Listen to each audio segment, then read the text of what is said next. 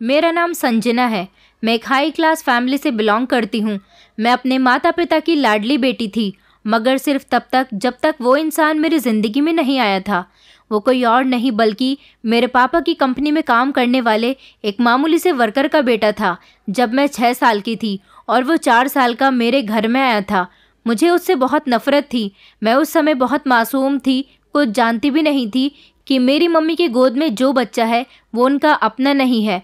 और ना ही ये मेरे परिवार का हिस्सा है, बल्कि मेरे मम्मी पापा सारा ध्यान मुझ पर ही दिया करते थे। लेकिन जिस दिन से वो हमारे घर में आया था, मेरे मम्मी पापा ने उसको प्यार करना शुरू कर दिया था। जैसे अपनी बेटी को तो वो लोग भूल ही गए थे। घर में जो भी चीज़ खाने की आती थी, सबसे पहले उसे दी जाती थी। यह एहसास मुझे धीरे धीरे तब होने लगा था जैसे जैसे मैं बड़ी होती गई और मेरे अंदर समझ आती गई। उसका नाम सुमित था। वो मेरे पापा की कंपनी में काम करने वाले एक मामूली से वर्कर का बेटा था।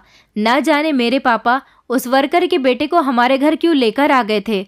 मैं जितना अपने मम्मी पापा के साथ खेलती थी, वो लोग जितना मुझे टाइम दिया करते थे, अब मेरा सारा टाइम बढ़ गया था। वो मेरे ही घर में रहने लगा था, मेरा रूम शेयर करने लगा था। मेरे मम्मी पापा मुझे ये समझाते थे कि इसके साथ अपना रूम शेयर किया करो। मगर मुझ जैसी मासूम और नादान लड़की के दिल में उस समय गुस्से की आग भड़क रही थी। मुझे सुमित बहुत बुरा लगता था, क्योंकि उसने मेरे घर में आते ही मेरे सारे हक छीन लिए थे और उन पर खुद कब्जा करके बैठ गया था।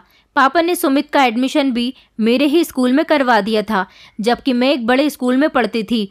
वो गरीब मामूली से एक वर्कर का बेटा मेरे ही स्कूल में पढ़ने लगा था और पापा जब भी घर आते, कोई खाने पीने का सामान लेकर आते तो वो अब मेरी पसंद का नहीं बल्कि सुमित के पसंद का आने लगा था। मैं जो हमेशा हंसती खेलती रहती थी, सुमित के आ जाने से मुझे हमेशा गुस्सा आता रहता था। मेरा बिहेवियर बहुत चिड़चिड़ा हो गया था। न जाने बचपन में ही मेरे अंदर इतना गुस्सा कैसे भर गया था। फिर जैसे जैसे मैं बड़ी होती गई, मैं घमंडी लड़की बनती चली गई। मेरा नेचर हर किसी को पसंद नहीं आता था, क्योंकि मैं किसी से भी अच्छे से बात नहीं करती थी। यहाँ तक कि घर के नौकरों को भी मैं गरीब समझती थी। और उनसे कभी भी मैंने ढंग से बात नहीं की थी। सुमित जो बचपन से ही मेरे करीब आने की कोशिश करता था, मैं उसे डांट दिया करती थी और खुद से दूर कर लेती थी। मेरे मम्मी पापा मुझे डांटते थे, कहते थे कि सुमित भी इस घर का हिस्सा है, अब वो हमारे साथ रहता है, इसलिए तुम्हें उसको एक्सेप्ट करना होगा। मगर मैं ऐसे कैसे उसे एक्सेप्ट कर सकती थी? उसने मेरी ख्वाहिशों पर अपना हक जमा लिया था। मेरे ही घर में आकर उसने मेरे ही पेरेंट्स का प्यार ले लिया था। मैं तो जैसे अपने पेरेंट्स के लिए बिल्कुल अनजान बन गई थी। फिर जब मैं बड़ी हुई, तब मुझे समझ आया कि मेरे मम्मी पापा सुमित से ज़्यादा प्यार क्यों करने लगे थे। मैं समझ चुकी थी और फिर मुझे अपनी मम्मी पापा भी बुरे लगने लगे थे। ऐसा इसलिए था क्योंकि मेरे मम्मी पापा के पास कोई बेटा नहीं था और उनके यहाँ तो बेटी पैदा हुई थी, जो कि मैं थी। वैसे भी आज के ज़माने में लोग बेटियों को ज़्यादा अहमियत नहीं देते। उनके लिए बेटे ज़्यादा मायने रखते हैं। यही वजह रही होगी कि मेरे पापा ने अपने वर्कर से सुमित को गोद ले लिया और उसकी परवरिश करने लगे, ताकि उसे इस घर में जगह दे सकें और अपना नाम दे सकें। मगर हैरानी वाली बात यह थी कि सुमित का पिता कितना लालची इंसान था, जिसने अपनी ही औलाद को दूसरे इंसान के हवाले कर दिया था। मैं इसकी भी वजह जान गई थी। आखिर मैं जवान हो गई थी, समझदार हो गई थी। इस बात का मतलब अच्छी तरह से समझ सकती थी। ये जो गरीब लोग होते हैं ना, ये अमीर लोगों के पीछे हाथ धोकर पड़ जाते हैं और तब तक उनके पीछे पड़े रहते हैं, जब तक अमीर लोग अपनी मेहरबानियाँ उन पर ना करते रहें। ये लोग चाहते हैं कि अमीर लोग गरीब लोगों पर इतने एहसान करें कि उन्हें अपने घर तक में जगह दे दें। ऐसा ही मेरे पापा ने भी सुमित के साथ किया था। उन्होंने उस पर इतने एहसान किए थे कि उसे अपने घर में जगह दी थी। उसे पिता बनकर पाला पोसा था। मैं जानती थी कि गरीब लोग गरीब ही होते हैं। एक न एक दिन सुमित अपना रूप मेरे पेरेंट्स को दिखाएगा ज़रूर। मगर मैं अपने मम्मी पापा से, अगर सुमित के बारे में कुछ भी गलत बोलती थी तो वो लोग उल्टा मुझे ही डांट दिया करते थे। मुझे ऐसा लगता ही नहीं था कि ये मेरा घर है। मुझे तो बचपन से ही यह एहसास कराया गया था कि सुमित के आने के बाद वो घर मेरा नहीं बल्कि सुमित का ज़्यादा हो गया है। मैं बड़ी हो चुकी थी और मेरी उम्र के साथ साथ मेरे दिल में सुमित के लिए गुस्सा और नफरत और ज़्यादा बढ़ गई थी। मैं कॉलेज जाती थी, सुमित भी मेरे साथ ही कॉलेज जाता था। मैं बात अच्छी तरह से जानती थी कि सुमित हमारे घर में कैसे आया और मैं कई बार अपने मम्मी पापा से लड़ाई झगड़े में ये बात कह चुकी थी कि आपके वर्कर का बेटा है। इसे प्लीज़ हमारे घर से निकाल दें, यह हमारे घर में रहने के काबिल नहीं है। ये घर मेरा है और इस घर की हर चीज़ पर मेरा हक है, लेकिन आप लोगों ने बचपन से ही हर चीज़ का बंटवारा कर दिया, सिर्फ़ और सिर्फ़ सुमित के आ जाने से। मेरी ये बात सुनकर मेरी मम्मी को ज़्यादा हर्ट नहीं होता था, मगर पापा को बहुत हर्ट होता था। पापा कहते थे, अगर तुम उसकी सच्चाई जानती हो तो हर बार तुम ये शब्द अपने मुँह से क्यों निकालती हो? तुम जानती हो कि वो बेचारा अगर ये सारी बातें सुनेगा तो कितना सैड हो जाएगा। वो भी हमारे घर में रहता है और हमारा फैमिली मेंबर है। तुम्हें ये बात एक्सेप्ट करनी होगी। मगर मैं तो सर पकड़कर बैठ गई थी कि जो सच्चाई है वो कभी झुटलाई नहीं जा सकती। वो आपका बेटा नहीं है, इसलिए मैं उसको कभी भी इस घर का मेंबर नहीं मान सकती। मेरी इस बात पर पापा ने मुझे अपनी कसम दी थी और कहा था कि इस राज को प्लीज़ राज ही रहने दो। अगर तुम जानती हो कि वो एक मामूली से वर्कर का बेटा है और उसे मैं अपने घर में लेकर आया हूँ तो प्लीज़ ये बात उसके सामने कभी मत करना, क्योंकि वो हम दोनों पति पत्नी को अपना माता पिता मानता है और तुम्हें एक दोस्त की तरह ट्रीट करता है। हमेशा तुम्हारे साथ वो रहा है, मगर तुमने हमेशा उसे खुद से दूर किया। अगर तुम उससे दूर रहती हो तो दूर रहो, उससे नफ़रत करना चाहती हो तो नफ़रत करो लेकिन प्लीज़ उसकी सच्चाई ना तो उसके सामने लेकर आओ और ना किसी और के सामने लेकर आना। मैंने पापा से कहा, पापा, मैं ऐसा कभी भी नहीं करूँगी। मैं तो सबको बताऊँगी कि एक गरीब इंसान का बेटा हमारे घर में कैसे मौज मस्ती के साथ रह रहा है। भगवान हर किसी की किस्मत अगर इसके जैसी कर दे तो इस दुनिया में गरीब लोग बचेंगे ही नहीं और मैं इसको भी रियलाइज़ कराकर ही रहूँगी कि इसकी असलियत क्या है। मेरे पापा ने मेरे आगे हाथ जोड़ लिया और कहने लगे कि भगवान के लिए ऐसा मत करो, संजना। ऐसी बातें अपने मुँह से मत निकालो और धीमी आवाज़ में बात करो। अगर ये बात सुमित को पता चल गई तो वो बेचारा बहुत उदास हो जाएगा और हम नहीं चाहते कि उसे पता चले। हम उसके सगे माता पिता नहीं हैं। मेरी मम्मी भी मेरे आगे रोने लगी थी। उन्होंने कहा, देखो ना, मुझे भगवान ने सिर्फ़ एक बेटी दी थी और बचपन में ही तुम्हारे पापा सुमित को भी हमारे घर ले आए थे। तुम्हारे पैदा होने के बाद मैं कभी माँ नहीं बन सकी। फिर भगवान ने सुमित को हमारे घर भेज दिया और इस तरह मेरा बेटा भी मुझे मिल गया और बेटी भी। मेरे पास दो दो बच्चे हो गए, मगर सबसे बड़ी कमी यह है कि तुम उस समय भले ही छोटी थी, लेकिन ये बात जान गई थी कि सुमित हमारा बेटा नहीं है। तुम इस बात का फ़ायदा उठाती हो, संजना। तुम्हारे पापा ठीक कह रहे हैं तुम उसकी हकीकत किसी को मत बताना। अगर वो किसी गरीब इंसान का बेटा है तो क्या हुआ? है तो अच्छा इंसान ना। उसकी परवरिश तो हमने ही की है, जिस तरह तुम्हारी की है। मगर देखो कि वो हमारी परवाह तुमसे ज़्यादा करता है। मेरे पापा कहने लगे कि प्लीज़ बेटा, सुमित के सामने कभी ऐसी वैसी बात मत करना। कई बार तुम लड़ाई झगड़े में उसके बारे में सब कुछ बोल चुकी हो। हमने उसे बड़ी मुश्किल से समझाया है कि वो तुमसे नाराज़ रहती है, चिड़चिड़ी हो गई है। पढ़ाई का प्रेशर बढ़ जाने की वजह से, बस इस वजह से वो ऐसी बातें करती है। वो बेचारा खामोशी से इस बात को मान लेता है, कोई सवाल जवाब नहीं करता। मेरे पापा ने झट से मेरा हाथ लेकर अपने सर पर रख दिया था और कहने लगे कि तुम मेरी कसम खाओ, कि तुम कभी भी सुमित की सच्चाई ना उसके सामने लेकर आओगी और ना ही किसी और के सामने। मैंने जल्दी से अपना हाथ पीछे हटाना चाहा तो पापा ने ज़बरदस्ती मेरा हाथ मजबूती से पकड़ लिया और कहने लगे कि अगर तुमने मेरी बात नहीं मानी तो तुम अपने पापा का मरा हुआ मुँह देखोगी। तुम्हें कसम है मेरी, तुम सुमित की सच्चाई सिर्फ़ अपने दिल में रखोगी। न चाहते हुए भी मुझे अपने पापा की इस कसम को एक्सेप्ट करना पड़ गया था, और फिर मैं आज तक उनकी इस कसम को निभा रही हूँ। ना तो कभी मैं उसकी सच्चाई उसके सामने खोल के रख पाई हूँ, और ना ही मैं ये बात किसी और को बता सकी हूँ। मैं जानती थी कि मैंने कभी भी सीरियस होकर ये बात सुमित से कही और उसे यकीन दिलाया कि तुम मेरे पापा के पैसों पर ये ज़िंदगी गुजार रहे हो, वरना तुम्हारी तो कोई हैसियत ही नहीं है।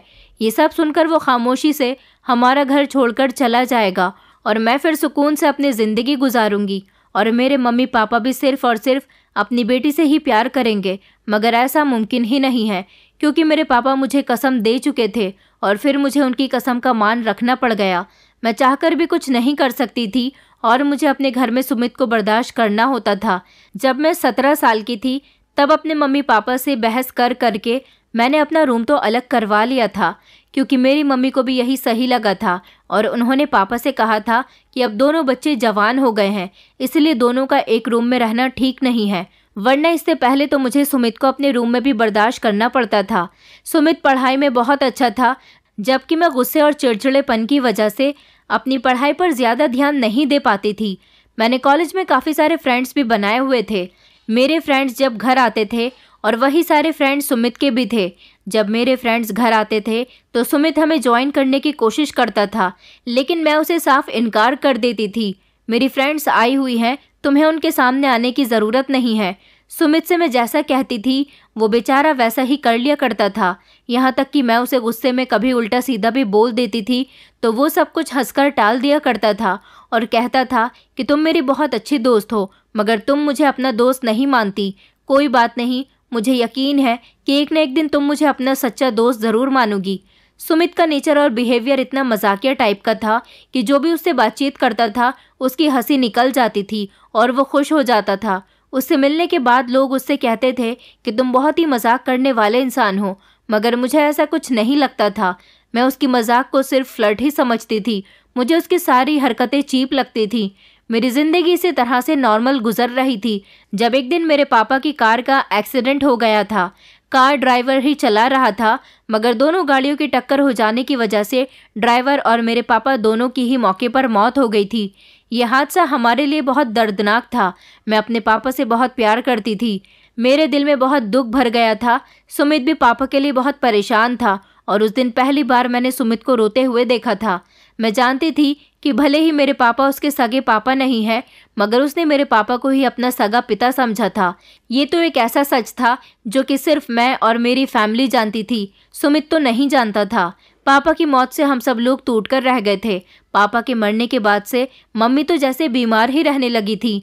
हम लोगों की पढ़ाई पूरी हो चुकी थी। मेरे पापा जब ज़िंदा थे तो वो वैसे भी यही चाहते थे कि सुमित की स्टडी कंप्लीट हो जाए तो वो मेरे पापा का बिज़नेस संभालने लगे। लेकिन अब मम्मी ने उसे ये हक पापा के मरने के बाद फ़ौरन ही दे दिया था। उन्होंने सुमित से कहा था कि अब तुम्हें अपने पापा का बिज़नेस संभालना है। सुमित ने मेरी मम्मी को भरोसा दिलाया था कि वो मेरे पापा के बिज़नेस को ऊंचाइयों पर लेकर जाएगा। मगर मुझे गुस्सा इस बात का आ रहा था कि इस घर में सब कुछ कानूनी तौर पर मेरा था। मैंने भी तो हायर स्टडी की हुई थी। मैं भी तो अपने पापा का बिज़नेस संभाल सकती थी, लेकिन मेरी मम्मी ने सब कुछ सुमित के हवाले कर दिया। इस बात पर मुझे और ज़्यादा गुस्सा आया था। सुमित ने घर में हर फैसला लेना शुरू कर दिया था, क्योंकि अब वो घर का बड़ा बन चुका था, क्योंकि अब वो मेरे पापा की जगह आ चुका था। मुझे इस बात पर बहुत गुस्सा था कि वो इस घर में मेरे पापा की जगह नहीं ले सकता। मैंने मम्मी से कहा था, मम्मी, आप ये सब क्या कर रही हो? आपने सुमित को पापा का बिज़नेस संभालने के लिए उसे परमिशन क्यों दी? हाँ ये बात सही है कि वो पापा के ऑफ़िस में जॉब कर सकता है, मगर वो पापा के ऑफ़िस में उनकी जगह पर नहीं बैठ सकता। उनकी जगह सिर्फ़ मेरे लिए है। मम्मी ने अचानक मेरी इस बात पर मुझे बहुत डांट दिया और कहने लगी कि तुम खामोश हो जाओ। तुमसे किसने कहा कि तुम इस मैटर में बोलो? वैसे भी एक न एक दिन तुम्हें शादी करके यहाँ से चले जाना है। तुम अपनी ससुराल में हक जमाना। मैं मम्मी से गुस्सा हो गई थी और रोते हुए अपने कमरे में आ गई थी। अगले दिन जब मैं सोकर उठी और मम्मी के कमरे में गई तो ये देखकर मेरे पैरों तले से ज़मीन निकल गई थी कि मेरी मम्मी को खून की उल्टियाँ आ रही थी। मैंने ज़ोर ज़ोर से चिल्लाना शुरू कर दिया। घर के सारे नौकर और सुमित भी दौड़ता हुआ मम्मी के कमरे में आ गया था और कहने लगा कि क्या हुआ संजना? क्यों चिल्ला रही हो? तो फिर मैंने सबको मम्मी की हालत दिखाई। सुमित को देखकर मुझे बड़ी हैरानी हुई थी कि सुमित ने मेरी मम्मी को गोद में उठा लिया था और वो उन्हें लेकर अस्पताल चला गया। मैं इस बात पर अफसोस कर रही थी कि मुझे भी अपनी मम्मी को डॉक्टर के पास लेकर जाना चाहिए था। या फिर मेरे पास तो मोबाइल भी था मुझे डॉक्टर को कॉल करनी चाहिए थी। जैसे ही सुमित आया, मेरी मम्मी को अस्पताल ले गया। मेरे अंदर इतनी अकल ही नहीं थी कि मुझे शोर मचाने के बजाय मम्मी को डॉक्टर के पास लेकर जाना चाहिए था। अब ज़रूर ये क्रेडिट भी सुमित को ही दिया जाएगा कि उसने मम्मी को जल्द से जल्द अस्पताल पहुँचा दिया। दूसरे ड्राइवर के साथ मैं भी अस्पताल पहुँच गई थी और वहाँ जाने के बाद डॉक्टर ने हमें एक ऐसी बात बताई थी, जिसे सुनकर हमारे होश उड़ गए थे। डॉक्टर ने बताया था कि आपकी मम्मी को कैंसर की बीमारी है और उनकी ये बीमारी काफ़ी हद तक बढ़ गई है। मेरी और सुमित की आँखों में ये सुनकर आँसू आ गए थे। मैंने तो रोना शुरू कर दिया था। सुमित मुझे तसल्ली देने लगा कि खामोश हो जाओ संजना, सब कुछ ठीक हो जाएगा। तुम फ़िक्र मत करो। मैं मम्मी की जान बचा लूँगा। मैं अपनी मम्मी के लिए बुरी तरह से रो रही थी। कुछ दिन हॉस्पिटल में रहने के बाद हम लोग घर आ गए थे। मम्मी ने अपनी रिपोर्ट्स पढ़ ली थी, क्योंकि सारी रिपोर्ट्स उनके सामने थी, इसलिए उनको पता चल गया था कि उन्हें क्या बीमारी है। मैं सब कुछ छोड़कर अपनी मम्मी की सेवा में लग गई थी। मम्मी मुझे बहुत प्यार कर रही थी, कह रही थी कि तुम मेरी बहुत प्यारी बेटी हो, मुझे हमेशा तुम्हारी फ़िक्र लगी रहती है, मगर तुम परेशान मत होना, मैं कभी भी तुम्हें अकेला छोड़कर नहीं जाऊँगी, मैं तुम्हें बेसहारा नहीं होने दूँगी। मैंने मम्मी से कहा, मम्मी, आप ये कैसी बातें कर रही हो? मैं आपको कहीं नहीं जाने दूँगी। मेरी मम्मी हमेशा मेरे साथ रहेंगी। मम्मी कहने लगी कि, नहीं बेटा, तुम तो जानती हो कि मुझे कौन सी बीमारी है, और तुम ये भी अच्छी तरह से जानती हो कि इस बीमारी का पेशेंट कभी भी ठीक नहीं होता।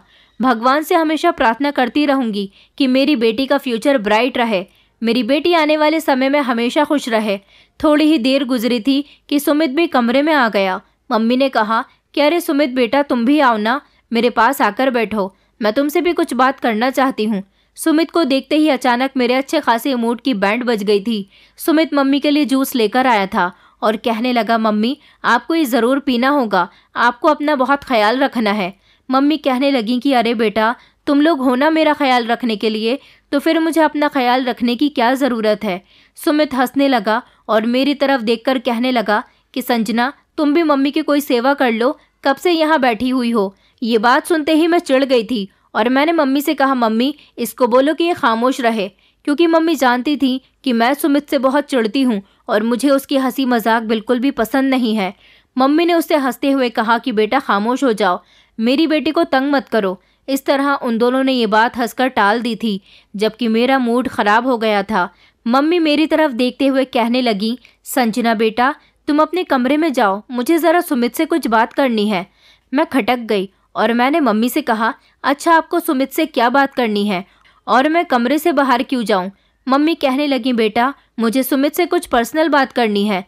मैंने कहा, नहीं, मैं नहीं जाऊँगी। आखिर ऐसी कौन सी बात है जो सुमित को बताई जाएगी और मुझे नहीं? सुमित कहने लगा कि, देखो मम्मी, आपकी बेटी बड़ी ही बहस करती है।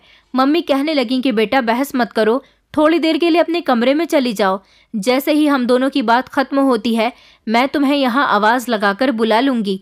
मैं सुमित को घूरने लगी थी और खामोश हो गई थी और फिर मम्मी के इतना जिद करने पर मैं खामोशी से वहाँ से उठकर दरवाजे तक आ गई थी। मगर मैं जानना चाहती थी कि आखिर ये दोनों आपस में क्या बात करना चाहते हैं। मैं कमरे से तो बाहर निकल आई थी, लेकिन अपने कमरे में नहीं गई थी। दरवाजे के पीछे छुपकर ही उन दोनों की बातें सुनने लगी थी। आखिर मैं भी तो देखूँ कि ये लोग आपस में क्या बात कर रहे हैं। मेरी मम्मी खड़ी हुई और अलमारी की तरफ़ जाने लगी और उन्होंने एक सीढ़ी निकाल कर सुमित को दी और कहा कि बेटा, तुम इस सीढ़ी को देख लेना और ये एक लेटर है। इस लेटर को पढ़ लेना और इसमें जो कुछ भी लिखा है, इसके मुताबिक तुम मेरी ख्वाहिश को ज़रूर पूरा करना। सुमित चौंकते हुए मम्मी से कहने लगा, मम्मी, ये सीढ़ी और लेटर इसमें क्या है? मम्मी कहने लगी, जब मैं इस दुनिया से चली जाऊँ, तब तुम इसको देखना। अभी नहीं, तुम मुझसे वादा करो कि तुम इन दोनों चीज़ों में से एक भी चीज़ को अभी नहीं देखोगे। मैं तुम्हें ये पहले ही इसलिए दे रही हूँ कि क्या पता मैं इस दुनिया से कब चली जाऊँ और मुझे ये तुम्हें देने का मौका मिले भी या नहीं, क्योंकि मैं तुम्हारे लिए गलत नहीं बनना चाहती। अब तुम अपने कमरे में जा सकते हो बेटा। सुमित ने कन्फ्यूज़ होते हुए वो दोनों ही चीज़ें अपने हाथ में पकड़ ली थी और वो चलता हुआ दरवाजे की तरफ़ आ रहा था। मैं उसे आता हुआ देखकर फ़ौरन वहाँ से पलटकर अपने कमरे में आ गई थी, ताकि उसे शक न हो कि मैं अभी भी वहाँ पर खड़ी हुई उन लोगों की बातें सुन रही थी। मगर मैं ये सोच रही थी कि उस सीडी और लेटर में क्या है, जो मम्मी ने सुमित को दिया। अगले दिन हमारे घर पर मेहमान आ गए थे और मेरे दिमाग से ये बात पूरी तरह से निकल चुकी थी। मैंने फिर उस बात पर ध्यान देने की कोशिश भी नहीं की थी। मुझे लगा कि शायद मम्मी ने पापा के ही कोई काम का सामान सुमित को दिया होगा और फिर मेरे चाचा चाची और उनकी पूरी फैमिली हमारे घर पर आई थी। उनकी बेटी मेरी बेस्ट फ्रेंड थी, उसके साथ मेरा अच्छा टाइम गुजरता था। कुछ दिन इसी तरह से गुजर गए थे, जब एक दिन मम्मी की अचानक तबीयत बहुत ज़्यादा सीरियस हो गई। हम लोग उनको हॉस्पिटल लेकर गए। दो दिन तक उनका ट्रीटमेंट चलता रहा था, लेकिन फिर उसके बाद मेरी मम्मी इस दुनिया को छोड़कर चली गई। शायद उनकी इतनी ही ज़िंदगी लिखी हुई थी। मम्मी के मर जाने पर मैं और सुमित बुरी तरह से रोए थे। अब इस घर में मैं और सुमित ही रह गए थे। सुमित तो सुबह को ऑफ़िस जाता था और रात को आता था। सुमित का बिहेवियर जितना मज़ाक करने वाला था, वह पूरी तरह से बदल गया था। वो बहुत सीरियस रहने लगा था। उसे मेरे मम्मी पापा की कमी बहुत खलती थी। वो मेरे साथ भी अब ना कोई बात करता था, ना ही कोई मज़ाक और ना ही कोई बदतमीज़ी। पहले तो वो मुझे किसी न किसी बात पर छेड़ता रहता था, जिसकी वजह से मुझे उससे और ज़्यादा गुस्सा आता था। लेकिन अब वो पूरी तरह से खामोश रहने लगा था। मैं उसकी इस खामोशी का मतलब यही समझी थी कि उसे मेरे मम्मी पापा की मौत का बहुत दुख है। उसे यही लग रहा है कि पहले पापा इस दुनिया से चले गए और अब मम्मी भी नहीं रहीं। एक दिन मैं अपनी एक दोस्त के घर चली गई थी, क्योंकि मैं भी अब घर में अकेली रह रहकर बोर हो गई थी। मैं जब उसके घर से अपने घर आई तो देखा कि हमारे घर में चहल पहल हो रही थी। ये सब देखकर मैं हैरान हो गई थी कि पंडित जी भी बैठे हुए थे और ऐसा लग रहा था जैसे घर में किसी की शादी हो रही है। मैंने सुमित से कहा, सुमित, ये सब क्या हो रहा है? तो वो कहने लगा कि, तुम आ गई, मेरे साथ कमरे में चलो मुझे तुमसे कुछ पर्सनल बात करनी है। मैं उसकी बात सुनकर चौंक गई। मैंने कहा, क्या बात करनी है? जो भी बात है वो यहीं बताओ। तो वो कहने लगा कि, तुम बहुत ज़िद्दी हो, संजना। प्लीज़ मेरे साथ चलो। ये वक्त बहस करने का नहीं है। वो ज़बरदस्ती मेरा हाथ पकड़कर मुझे मेरे कमरे में ले गया और कहने लगा कि, देखो, संजना, मरने से पहले मम्मी ने मुझसे कहा था कि वो तुम्हारी शादी करवाना चाहती हैं। लेकिन फिर मैंने इस बात पर ज़्यादा ध्यान नहीं दिया। उनके मरने के बाद मुझे याद आया कि उन्होंने मुझे एक काम सौंप दिया था, वो था तुम्हारी शादी करवाना। उन्होंने मुझसे कहा था कि तुम्हें मेरी बेटी की शादी खुद करवानी है। मैं इस ज़िम्मेदारी से फ्री होना चाहता हूँ। वैसे भी तुम्हारी शादी एक न एक दिन तो होनी ही है। इस तरह मैं अपनी ज़िम्मेदारी से फ्री हो जाऊँगा। मैंने मम्मी को भरोसा दिलाया था कि मैं जल्दी ही तुम्हारी शादी करवा दूँगा। अब मम्मी भी इस दुनिया में नहीं रही, इसलिए मैं तुम्हारी शादी में ज़्यादा समय नहीं लगा सकता। मैं जानता हूँ तुम ज़िद्दी हो, तुम्हें मेरी ये बात बुरी लग रही होगी, मगर तुम्हारे लिए ये बहुत अच्छा होगा कि तुम शादी करने के लिए जल्दी ही मान जाओ। इससे मम्मी की आत्मा को शांति मिलेगी। सुमित की बात सुनकर मेरी आँखों में आँसू आ गए थे। ये बात सही थी कि मेरी मम्मी मेरी शादी करवाना चाहती थी, क्योंकि एक बार मैंने उनको नौकरानी से भी कहते हुए सुना था कि मेरी ख्वाहिश है कि मेरी बेटी की शादी जल्द से जल्द हो जाए। मैं गहरी सोच में जा चुकी थी और फिर सुमित ने हिलाकर मुझे होश दिलाया और कहने लगा कि तुम तैयार हो ना शादी करने के लिए। मैं इमोशनल हो गई और मैंने कहा कि हाँ ठीक है, मैं शादी करने के लिए तैयार हूँ। मैंने कहा, लेकिन मेरी शादी किससे करवा रहे हो? तो वो कहने लगा, बस ये समझ लो मेरे हिसाब से लड़का बहुत अच्छा है। शायद उसे तुम्हारी मम्मी ने ही पसंद किया था, लेकिन मैं तुम्हें उस लड़की से नहीं मिला सकता। तुम शादी के बाद ही उससे मिल सकती हो। मैं कहने लगी कि तुम मेरे साथ कहीं कोई फ्रॉड तो नहीं कर रहे हो ना? झूठ तो नहीं बोल रहे हो मुझसे? सुमित कहने लगा कि तुम पागल हो गई हो संजना। मैं तुम्हारे साथ कोई फ्रॉड कैसे करूँगा? मैं तुम्हारी और अपनी दोनों की ही मरी हुई माँ की कसम खाता हूँ कि उस लड़के को तुम्हारी मम्मी ही तुम्हारे लिए पसंद करके गई थी। सुमित की बात सुनकर मैं खामोश हो गई थी, क्योंकि वो मेरी मम्मी की कसम ऐसे ही नहीं खा सकता था। मैंने कहा अच्छा ठीक है, मैं शादी करने के लिए तैयार हूँ। जब सुमित ने कहा कि तुम्हारी शादी आज ही होगी तो मैं अचानक चौंक गई थी। मैंने कहा, इतनी जल्दी? मेरी शादी? तो वो कहने लगा हाँ मैं तुम्हारे मुँह से शादी के लिए हाँ सुनना चाहता था। आज का ही मुहूर्त तुम्हारी शादी के लिए बहुत अच्छा है। तुम्हारी शादी आज ही होनी है, और इसी वजह से मैंने घर में तैयारी भी शुरू कर दी है। सुमित की बात सुनकर मैं कंफ्यूज हो गई थी। वो कहने लगा कि अब ज़्यादा सोच विचार मत करो। अगर अपनी माँ की आत्मा को शांति पहुँचाना चाहती हो तो तुम्हें ये सब करना होगा। सुमित ने पार्लर वाली को घर बुला लिया था और कुछ मेहमान थे जो हमारे घर में आए हुए थे। पार्लर वाली ने मुझे अच्छी तरह से तैयार कर दिया। मेरे मुँह पर एक लंबा सा घूंघट डाल दिया गया था और फिर मुझे मंडप के बीच में बैठा दिया गया। पंडित जी मंत्र पढ़ रहे थे और इस तरह मेरी शादी किसके साथ हुई थी, मैं ये नहीं देख पाई थी, क्योंकि मेरा चेहरा ढका हुआ था। लेकिन मैं हैरान इस बात पर हो रही थी कि मेरी विदाई क्यों नहीं हुई थी? मेरी शादी होते ही वहाँ के सारे लोग वहाँ से जा चुके थे। मुझे अभी भी मेरा घूंघट खोलने की परमिशन नहीं थी। नौकरानी मुझे कमरे में लेकर आ गई। मैंने जब कमरे में जाकर अपना घूंघट उठाया तो ये देखा कि ये कमरा तो सुमित का है। मुझे अभी कमरे में आए हुए पाँच मिनट ही गुजरे थे कि पीछे से सुमित भी आ गया। नौकरानी जा चुकी थी। सुमित कहने लगा कि खड़ी क्यों हो? बैठ जाओ, तुम्हारा ही घर है। मैंने उससे हैरान होते हुए शब्दों में कहा कि मेरी शादी किसके साथ करवाई है तुमने?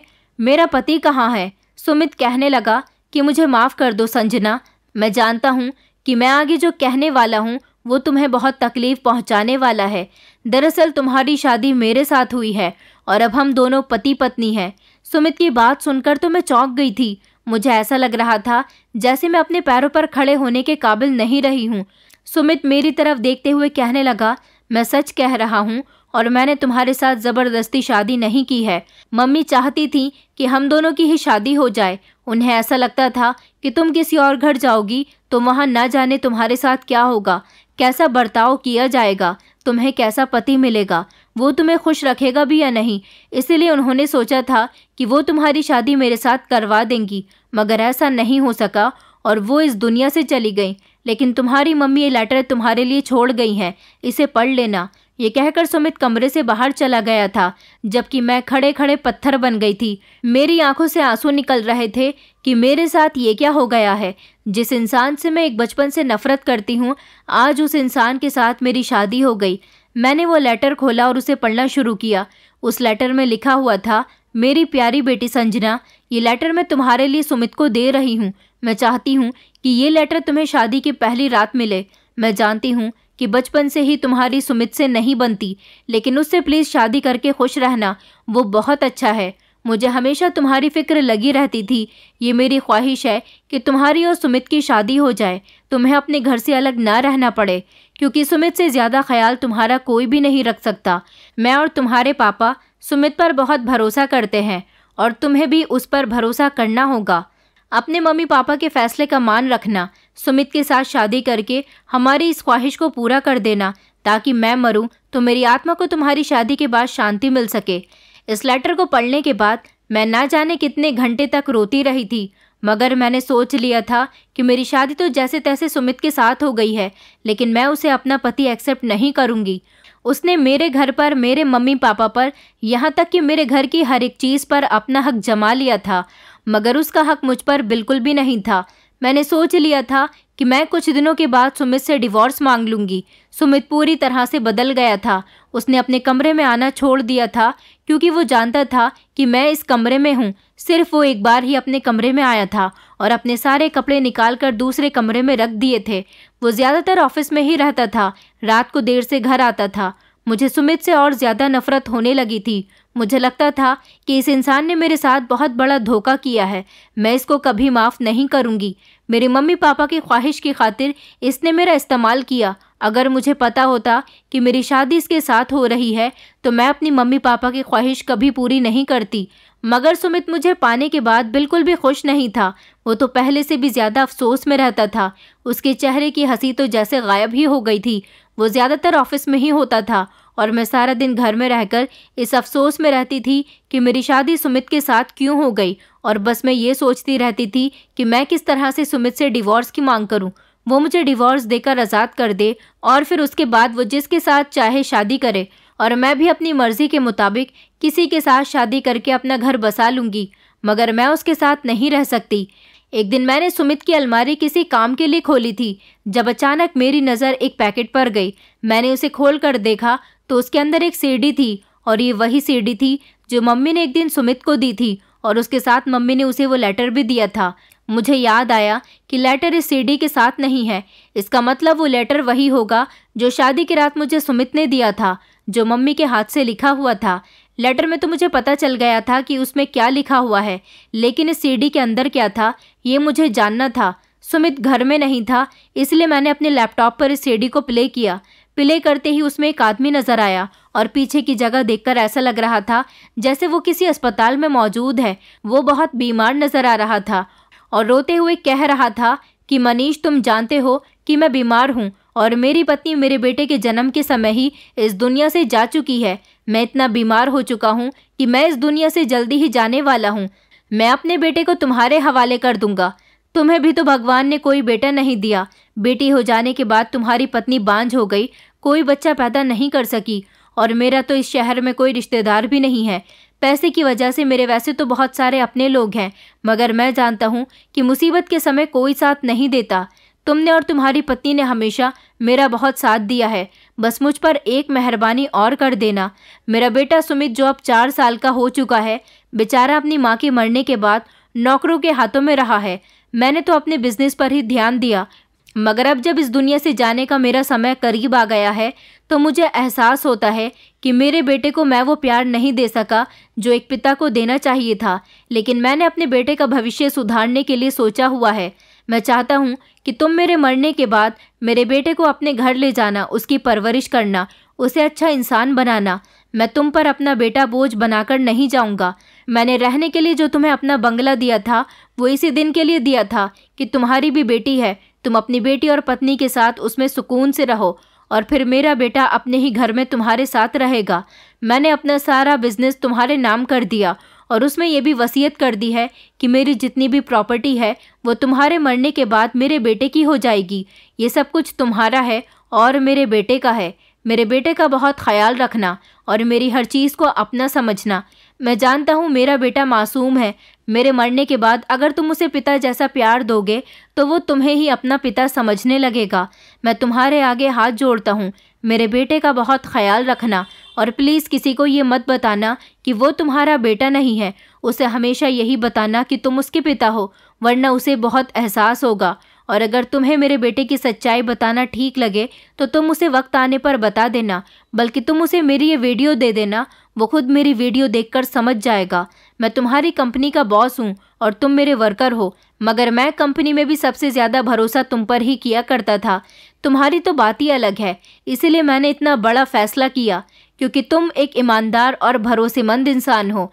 ये बात कहकर वो इंसान फूट फूट कर रो रहा था और फिर उसके बाद वीडियो पूरी हो गई थी, मगर मेरे होश उड़ चुके थे कि सब कुछ जो भी था, वो सब सुमित का था। और सुमित शहर के उस बिजनेसमैन का बेटा था, जिसकी कंपनी में मेरे पापा काम किया करते थे। इसका मतलब ये था कि सब कुछ मेरे पापा का नहीं, बल्कि सुमित और उसके पापा का था। उन्होंने तो मेरे पापा पर एहसान किया था, उनको ये सब कुछ इसीलिए दिया था ताकि वो सारी ज़िंदगी सुमित की परवरिश कर सकें। और एक मैं थी, जो सारी ज़िंदगी सुमित को एक मामूली इंसान समझती रही थी। यही वजह थी कि मम्मी ने उसे अपने मरने से पहले उसके पापा की सारी सच्चाई उसके हवाले कर दी थी। इसका मतलब यही है कि सुमित ने मेरी किसी भी चीज़ पर अपना हक नहीं जमाया था, बल्कि ये सब कुछ तो उसका ही था। मैं ही उसके घर की हिस्सेदार बनी हुई बैठी थी।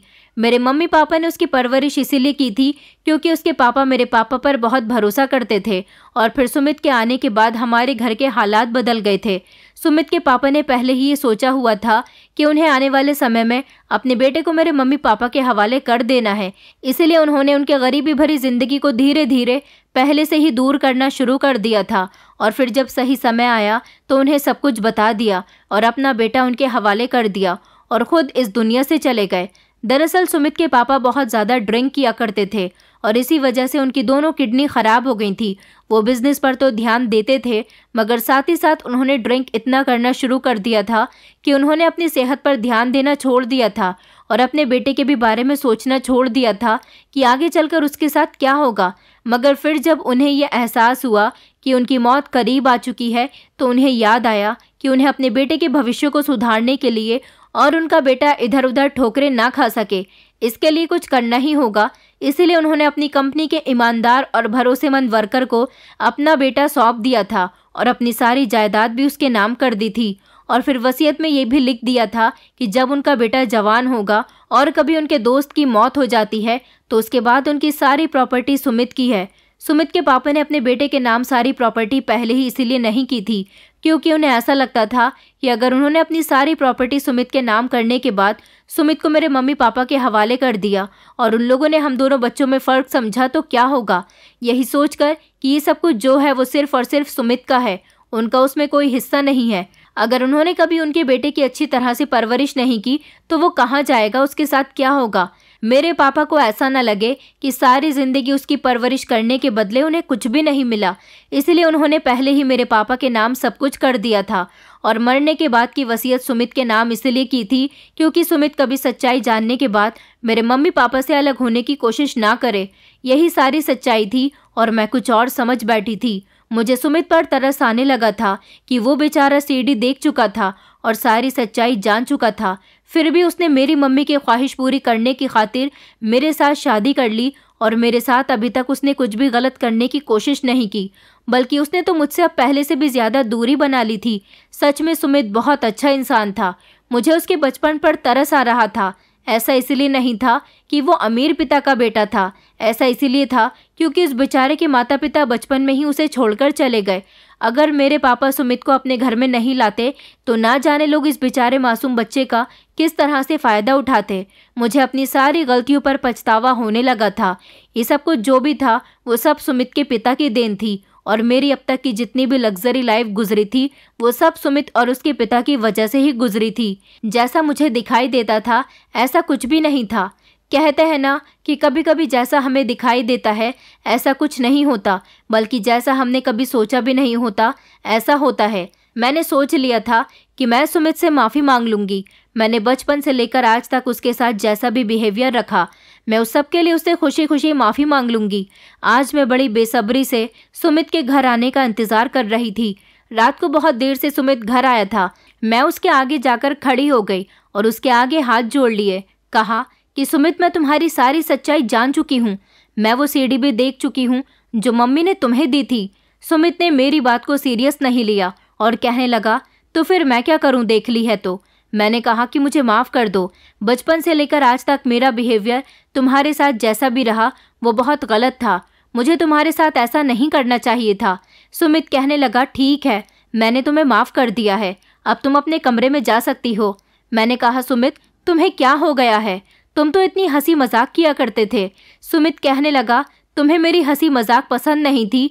मेरे मम्मी पापा ही थे जो मेरी हँसी मज़ाक को सीरियस लिया करते थे। मेरे मम्मी पापा चले गए तो मेरी हँसी मज़ाक भी ख़त्म हो गई और मैं भी अच्छी तरह से जानता हूँ कि तुम मेरे साथ शादी करने के बाद बिल्कुल भी खुश नहीं हो। तुम उस कमरे से बिल्कुल भी बाहर नहीं आती हो, इसलिए मैंने अपने कमरे के अंदर जाना छोड़ दिया। अगर तुम मुझसे आज़ादी चाहती हो तो मैं तुम्हें आज़ाद कर दूँगा। कल ही जाकर वकील से बात करता हूँ। वो हम दोनों की डाइवोर्स के पेपर बना देगा। फिर तुम जिससे चाहे उसके साथ शादी कर लेना। सुमित की बात सुनकर मेरी आँखों में आँसू आ गए थे। वो अपने कमरे में चला गया था और मैं अपने कमरे में आकर फूट फूट कर रोई थी। न जाने क्यों मुझे उससे दूरी बर्दाश्त नहीं हो रही थी। मैं चाहती थी कि मैं उसे डिवोर्स न लूँ, मगर वो खुद अपने मुँह से कह चुका था कि वो मुझे डिवोर्स दे देगा। लेकिन सोचने वाली बात ये थी कि वो मेरे बिहेवियर की वजह से ही ऐसा कह रहा था। अगले दिन वो मेरे लिए डाइवोर्स के पेपर ले आया था। उसने उन डाइवोर्स के पेपर पर साइन कर दिए थे और कहने लगा कि अब तुम भी साइन कर दो। मैं खड़ी हुई थी और सोच रही थी कि किस तरह मैं डाइवोर्स के पेपर्स पर साइन करूँ। मैं साइन करने ही जा रही थी, लेकिन मैंने पेपर्स उठाकर उनको फाड़ना शुरू कर दिया। मुझे इस तरह करते हुए देखकर सुमित चौंक गया था और कहने लगा कि ये तुम क्या कर रही हो संजना? मैं जल्दी से उसके गले लग गई और फूट फूट कर रोने लगी। मैंने कहा, प्लीज़, मुझसे अलग मत होना। मैं डाइवोर्स नहीं चाहती। क्या तुम मेरी मम्मी की ख्वाहिश को भूल गए हो? वो चाहती थी कि तुम मेरा ख्याल रखो। वो कहने लगा डाइवोर्स तो मैं तुम्हारे कहने पर ही दे रहा हूँ। मैं तो मम्मी की ख्वाहिश को पूरा करना चाहता हूँ। मैंने कहा, इस तरह ख्वाहिश को पूरा किया जाएगा? सुमित कहने लगा, अगर तुम्हें मुझसे अलग होकर ही खुशी मिलती है तो मैं तुमसे अलग होने के लिए भी तैयार हूँ। मैंने कहा, सुमित, मुझे माफ़ कर दो। मैं तुम्हारी सच्चाई नहीं जानती थी। मुझे लगता था कि तुम मेरी खुशियों के हिस्सेदार बन गए हो। मगर मुझे नहीं पता था कि मुझे जो कुछ भी मिला है, वो तुम्हारी ही वजह से मिला है। प्लीज़ मुझे माफ़ कर दो। मैं अपनी गलती के लिए बहुत शर्मिंदा हूँ। तुम चाहो तो मुझे सज़ा दे सकते हो, मगर मुझे डाइवोर्स देकर खुद से अलग मत करो। सुमित कहने लगा अच्छा ठीक है, फिर मैं डंडा लेकर आता हूँ और तुम्हें सज़ा दी जाएगी। ये कहने के बाद सुमित की हँसी छूट गई थी। आज बहुत दिनों बाद मैंने उसे हंसता हुआ देखा था और आज मुझे उसकी हँसी से गुस्सा नहीं आ रहा था, बल्कि मेरे चेहरे पर भी मुस्कुराहट आ गई थी। आज मुझे वो हंसता हुआ बहुत अच्छा लग रहा था। इस तरह हम दोनों के बीच मोहब्बत और ज़्यादा बढ़ गई थी। अब हम दोनों एक दूसरे के साथ खुशी खुशी ज़िंदगी गुजार रहे हैं और आज मैं भी शर्मिंदा होती हूँ उन घमंडी लड़कियों पर जो मेरी तरह गरीब लोगों को नहीं समझती। अगर सुमित गरीब भी होता तब भी मैं उससे अलग नहीं होती, क्योंकि मुझे उसके बचपन पर तरस आया था। उसके दौलत का बंटवारा होने से नहीं। दोस्तों, उम्मीद करती हूँ आपको हमारी कहानी पसंद आई होगी। कहानी पसंद आई है तो वीडियो को लाइक करें, चैनल पर नए हैं तो चैनल को सब्सक्राइब करें। और हाँ नोटिफिकेशन बेल को ज़रूर दबाएँ ताकि अगली अपडेट सबसे पहले आपको मिले।